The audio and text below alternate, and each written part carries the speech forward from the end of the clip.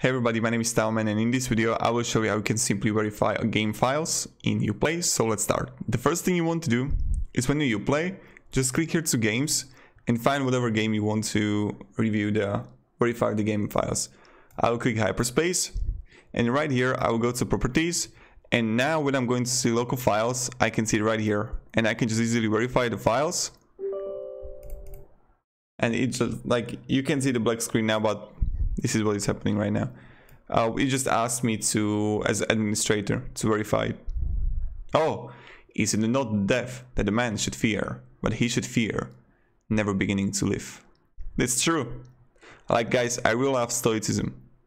If you ever heard about stoicism it's about contr not controlling domestic domesticating your emotions and learning how you can work with them not a lot of people know how to work with their emotions, but you got no idea how untouchable you're going to be if you know how to control your reactions, if you know how to manage yourself and your conscious. So yeah, another thing is when you would go to Steam and library, you can also manage properties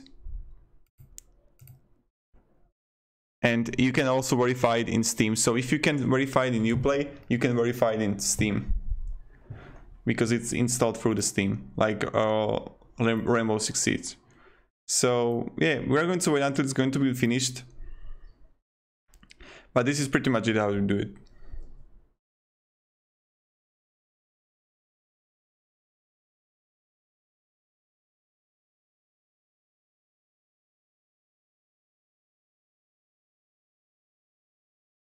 Yep, and close. Thank you everybody, have a great day and goodbye.